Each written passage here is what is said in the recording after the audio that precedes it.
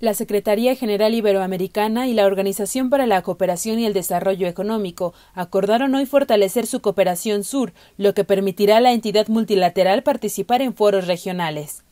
Este acuerdo coincidió con la realización por primera vez en diez años de un encuentro de ministros de turismo iberoamericanos, donde avanzaron en la preparación del documento sobre el tema que será emitido en la vigésima segunda cumbre iberoamericana este mismo año.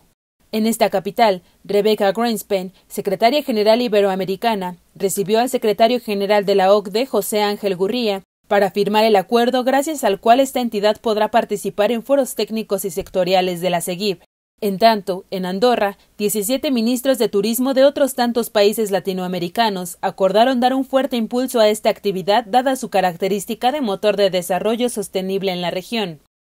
Además, se estuvo de acuerdo para que en cada Feria Internacional de Turismo en Madrid se realice un encuentro iberoamericano de turismo y desarrollo sostenible. Sobre el actual brote de COVID-19 se adquirió el compromiso de compartir y difundir información para dar una propuesta coherente, medida y proporcionada, así como a trabajar de manera coordinada con la Organización Mundial de la Salud.